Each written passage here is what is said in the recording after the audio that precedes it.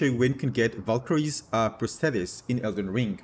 So basically, uh, we need to go uh, to the castle here. This is the location of the castle. Alright.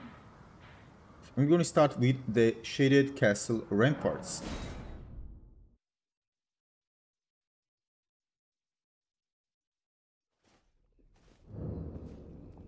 Alright, shaded castle ramparts. Uh, by the way, one way to climb it up is from this area, which I'm going to show you. Is this area. So when you arrive here, this location, you can actually just climb up, alright? Uh, and get in, alright?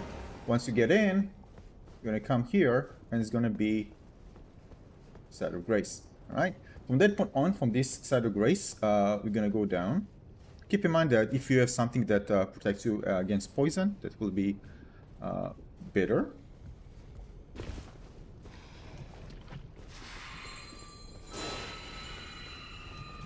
Then I'm just gonna cross here.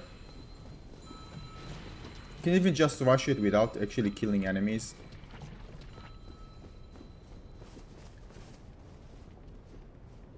Although there will be enemies, of course. Gonna climb up the ladder.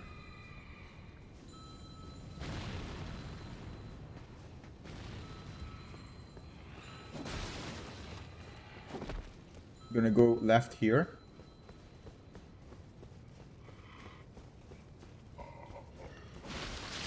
It's gonna be a tougher enemy. Be careful those uh, actually jumping at you.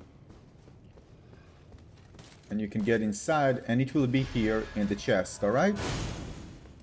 Just keep in mind there's gonna be this uh, enemy here, which is tough, uh, so we need to deal with it at some point. So this is gonna be inside this chest, alright?